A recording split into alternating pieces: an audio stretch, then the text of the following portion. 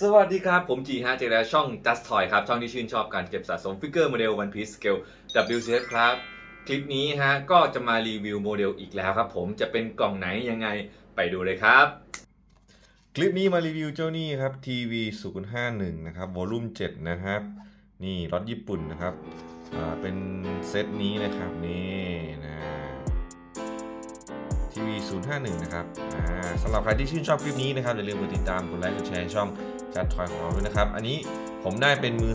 2นะครับ ผมก็เลยจะประกอบมาให้เพื่อนๆดูเลยนะครับ ตัวนี้ก็จะมีแค่ 3 ชิ้นเท่านั้นครับ โมเดลเสาฐานนะ ตัวนี้ก็จะเป็นชิ้นเดียวไปเลยนะครับ คราวนี้เดี๋ยวเรามาเริ่มจาก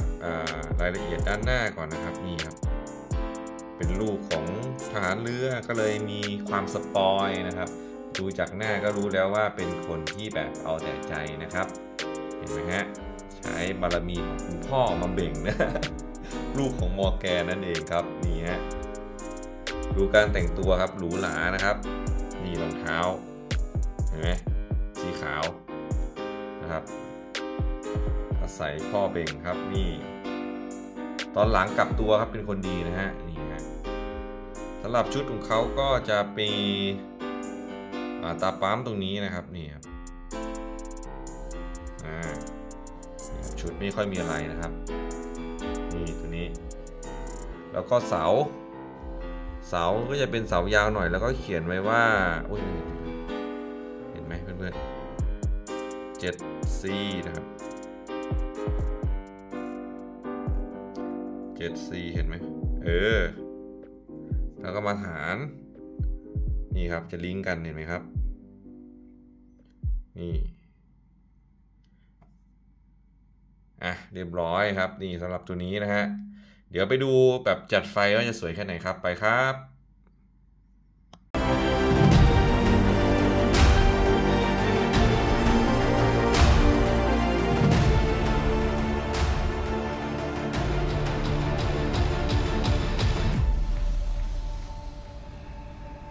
เอาละครับ แล้วนี่ก็คือเอลเฮโปนะครับ หรือว่าลูกของมอร์แกนนะ พูดชื่อผิดขออภัยด้วยนะครับ นี่ครับอันนี้จะเป็นสมัยลูกคุณหนูนะครับ ยังเบ่งอยู่นะฮะเรียกได้ว่าพ่อเป็นทหารเรือก็เลยเอา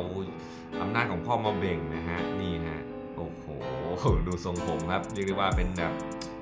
โอ้โหโดนเด็กโดนสปอยแบบสุดๆนะฮะดูหน้าตาดูดิโอเคครับสำหรับรายละเอียดชุดนี้ก็คือสีหน้าหน้าตาเนี่ย ผมบอกเลยว่าออกแบบได้ดี แล้วก็เหมือนมังงะ ดูออกเลยว่าเป็นตัวร้าย แล้วเป็นเด็กที่โดนสปอยมา เออ มันแบบว่าใช่เลยนะครับ แล้วก็ชุดท่าทางนะ คือใช่นะฮะสำหรับรายละเอียดนะครับสำหรับเสื้อผ้ารายละเอียดเนี่ยก็ถือว่าปกตินะไม่ได้แบบว่าอันนี้มากมายนะฮะไม่ได้มีละเอียดมากมายก็คือเป็นแบบสูตรทับสีแล้วก็ลงนะครับ แต่ว่าจุดเด่นของเขาน่าจะเป็นสีหน้าแววตาของตัวละครตัวนี้มากกว่า ที่ปั้นออกมาหรือว่าทำออกมาเนี่ยให้มันเป็นแบบว่าแสดง ความรู้สึกออกมาได้เลยนะครับเราดูออกเลยว่าคนคนนี้เป็นแบบไหนนะดูดูดูเนี่ยเห็นไหมฮะเนี่ยนอกนั้นก็จะเป็นลักษณะนี่รองเท้ารองเท้ายังไฮโซเลยนี่ยสำหรับตัวนี้ราคาเนี่ยโหเบามากนะครับ เรียกได้ว่าไม่เป็นที่นิยมของนักสะสมนะ ในชุดนี้คือราคาแบบต่ำเลยนะครับ ก็ใครที่อยากจะเก็บตัวนี้ให้มันครบเซตอย่างเงี้ยก็จัดไปครับราคาดีฮะมีขายเรื่อยๆครับ มีนักสะสมมาปล่อยเรื่อยๆนะเพราะว่าราคามันไม่ได้แรงมากแล้วก็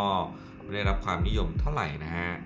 นะครับสำหรับใครอยากได้ตัวนี้ก็จัดไปเลยครับ